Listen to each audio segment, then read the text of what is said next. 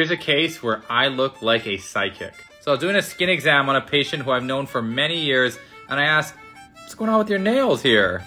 I don't remember your nails having this spoon shape to them. This is my nail that's overly hand sanitized and dry. The nail itself is fairly smooth, no nail clubbing or dips in the nail resembling a spoon. So I asked him, hey, have you developed iron deficiency?